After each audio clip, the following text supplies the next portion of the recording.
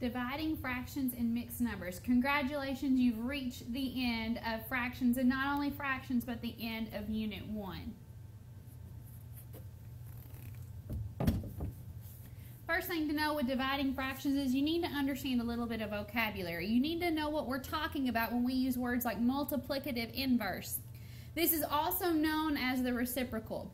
The term multiplicative inverse will make a little bit more sense when we get into the next unit of expressions and equations because you'll start to see that multiplication and division are inverses of each other. And really, rather than just dividing, you're going to see that you're multiplying by the inverse of a number. A number and its reciprocal have a product of 1. So a pair of numbers that are reciprocals of each other, when I multiply them together, I get 1.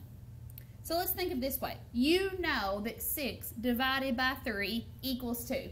You know that.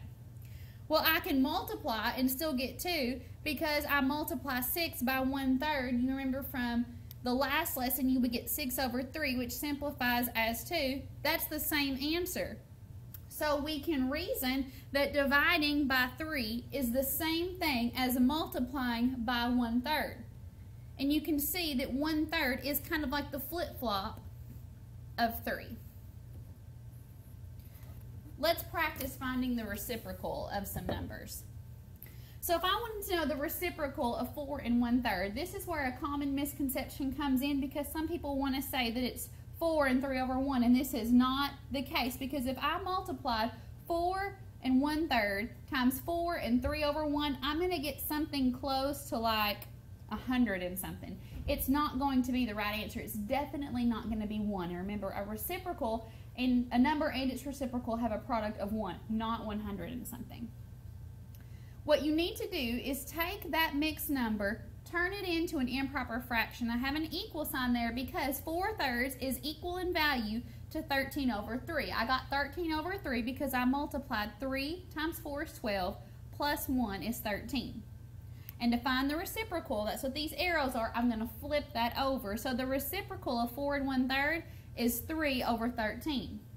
I can prove prove this. The proof is that 13 over 3, which remember is the same thing as my mixed number, times 3 over 13 gives me a product of 39 over 39, which is 1. So here's your how-to for dividing fractions. First, you have to make the numbers into a fraction, which was the same first step with multiplying. So let's take our example, negative 5 over 6 divided by 7 and 1 over 7. Negative 5 over 6 is already a fraction.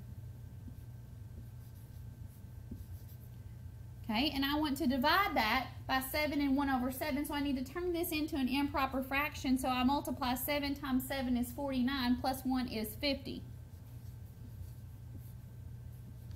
And I keep that same denominator. Second step is I'm going to multiply by its reciprocal. If you were good at multiplying last lesson, that right here is going to turn it into a multiplication problem. So I start with 5 over 6, negative 5 over 6, and instead of dividing, I'm going to multiply. The reciprocal of 50 over 7 is 7 over 50. Step 3, I'm going to follow my multiplication rules which if you looked at those notes, step one, make it a fraction. They already are. Step two was optional. You could cross simplify. If I look diagonally, 5 and 50 can break down by 5s, and that would become 1 and 10. The next step in multiplying fractions was to multiply straight across. Negative 1 times 7 is negative 7.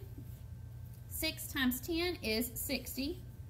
And then I would simplify, and that cannot be simplified anymore so my answer is negative 7 over 60. Let's condense this a little more. If you wanted to put dividing fractions really in just one step, to divide fractions, you multiply by the reciprocal. You have to flip it over. And kind of a little catchphrase that we use for this is keep it, change it, flip it. You keep the first number. The first number stayed the same. In our prior example, negative 5 over 6 did not change. I change it. I change division to multiplication. And then I flip it. I flip the second number. Let's practice now. Pause the video and then compare with what I do.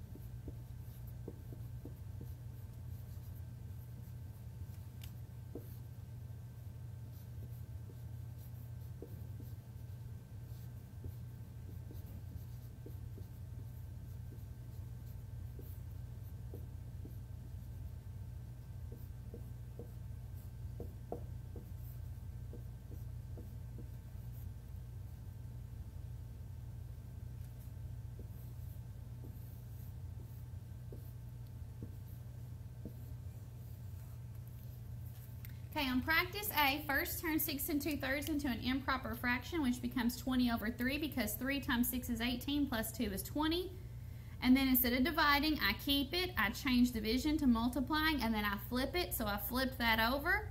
I cross simplified the 3 and the 9 breakdown. Multiply across, 20 times 3 is 60, 1 times 7 is 7. 7 goes into 60, 8 times, that gets me to 56. I need 4 more, so it's 8 and 4 over 7. Practice B, turn them both into improper fractions. So I have negative 8 over 5 divided by 5 over 2. Keep it, change it, flip it. I cannot cross simplify. I multiply across and get negative 16 over 25. It's negative because I have different signs being multiplied together. And that cannot be simplified. Practice C was probably a little bit of a challenge of you. You need to always use order of operations. 1 half squared is 1 half times 1 half, which is 1 fourth. So I underlined it there. Next step is to divide the 1 third and the 1 sixth. So on this line, I kept 1 third, changed division to multiplying, and then flipped 1 sixth over. I cross simplified though, those, the 3 and the 6 went down to 1 and 2. So just this portion right here, 1 over 1 times 2 over 1 becomes the whole number 2. So it gets brought down here.